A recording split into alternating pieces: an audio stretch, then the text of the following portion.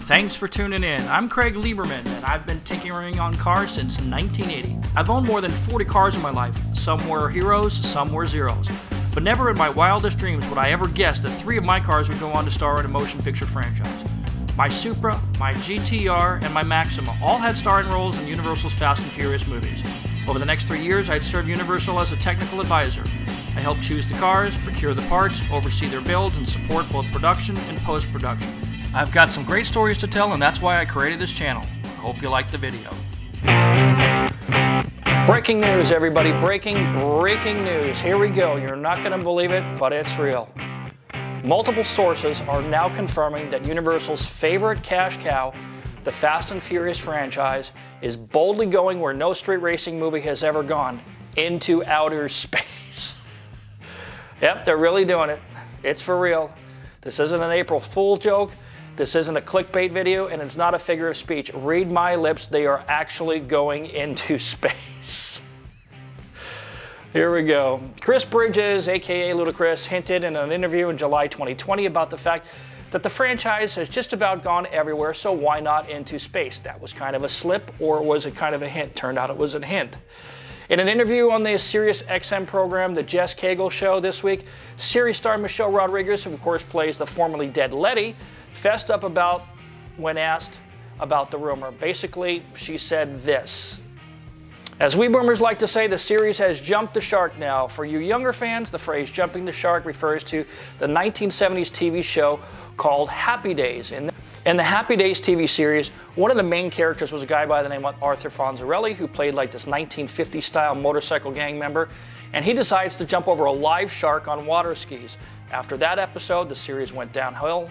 And so today, when you hear somebody say it has jumped a shark, that really means that something has changed permanently and not for the better. So it's not a compliment. One could also argue, though, that the Fast and Furious series jumped the shark long ago. Some say the series died with Paul, but box office ticket sales don't show this to be true, really. Fast 7 made 1.5 billion, and Fast 8 made 1.2 billion. So it's doing pretty well.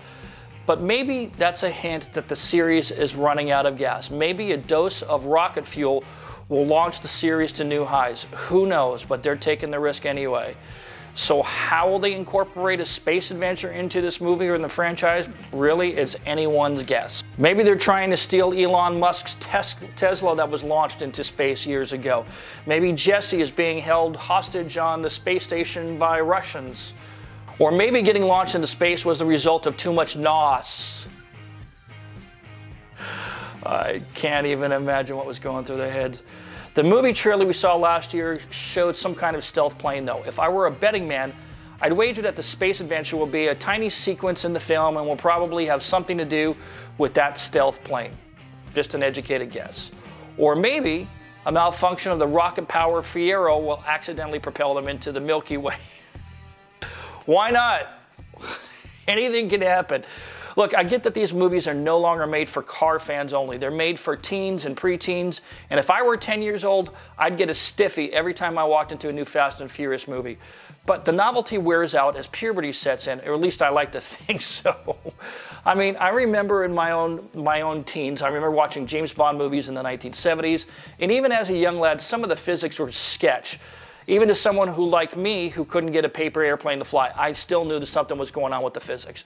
And by the time the Moonraker movie hit the theaters in the 1980s, I was done, man. It was just so absurd at that point, I couldn't go on. And so I kind of outgrew the movies. But here we are 20 years later in this franchise. I have to wonder what goes on in the production meetings with Vin Diesel and Universal executives. Maybe they're coming up with script ideas after a night of drinking. How many times have you been out drinking with your friends and just kind of spitballing ideas? I don't know, man. You know, it'd be really cool. It'd be really freaking cool if they just if they just like went in went they do they, they went into space stuff.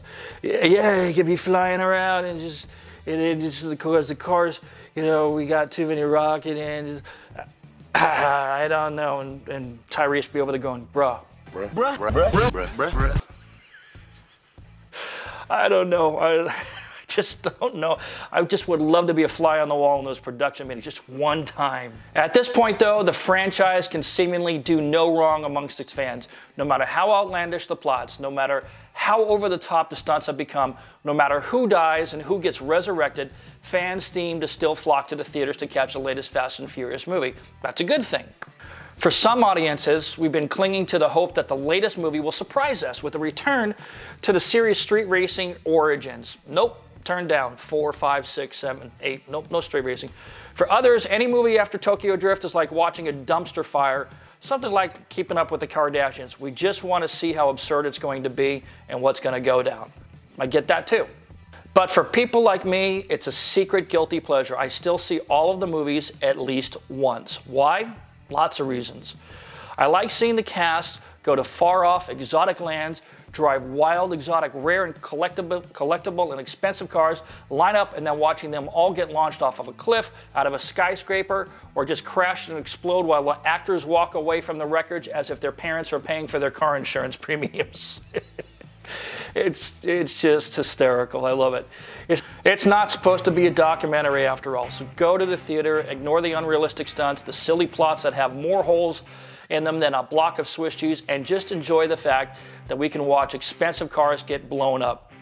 All I know is that the movies remind me of my love of cars, no matter what kind of car, and the people I've met from all around the world because of my tiny role in the first movie. So these movies are still special to me, even though they've gone down that certain path. And frankly, all of the focus on the family in the movie sort of rings true, doesn't it? It doesn't matter where the characters go and what ridiculous adventures they endure. Walking into that theater for each installment is like going home for Thanksgiving dinner. It's just good to see the family together again. And there's a lot of that. Maybe it's nostalgia as I get older, but that's what it is to me. So give your prefrontal cortex the day off, suspend your disbelief, and walk into the theater with your head held high and an open mind and a sense of humor. After all, Star Wars isn't real either. Surprisingly, Fast 9 will likely not be the last movie, if you can believe that. They're supposed to end with the 10th installment. But with Fast Now going into space, where could Fast 10 possibly take audiences next? Who knows?